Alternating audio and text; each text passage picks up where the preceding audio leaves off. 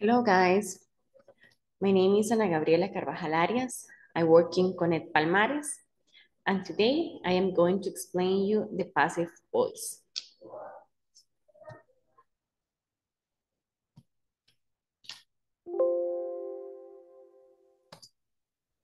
Okay, first of all, eh, nuestro objetivo de hoy va a ser entender y saber cómo usar el uso correcto de la voz pasiva.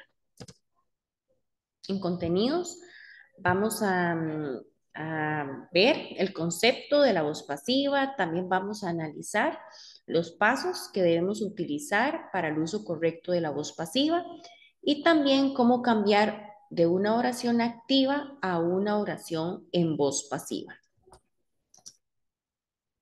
Ok, First of all, uh, we are going to see the meaning of passive voice, okay?